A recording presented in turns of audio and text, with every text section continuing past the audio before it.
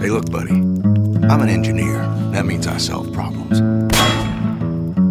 Not problems like what is beauty, because that would fall within the purview of your conundrums of philosophy.